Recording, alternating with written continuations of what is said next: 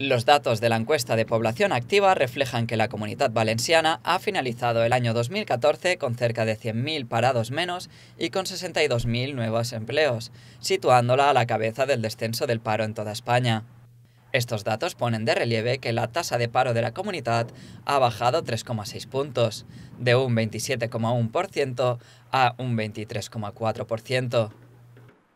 El presidente de la Generalitat, Alberto Fabra, ha hablado de estos datos durante su visita a Torrevieja, donde ha asistido a la presentación de la Orden de Talleres de Empleo 2015, Aprendiendo Trabajando. Y gracias a los talleres de empleo y las escuelas taller y todas las políticas activas que estamos haciendo en el conjunto de las administraciones, estamos dando respuesta a los graves problemas que tenía la sociedad valenciana, especialmente en cuestión de creación de empleo y de reducción del paro. El presidente ha anunciado que para finales de este mes se realizará una nueva convocatoria de talleres de empleo que tendrá una dotación de 20 millones de euros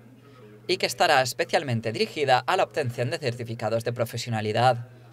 Una acción destinada a impulsar la inserción laboral y la cualificación de los desempleados mayores de 25 años, que se enmarca dentro de las políticas de activación de empleo de la Generalitat Valenciana.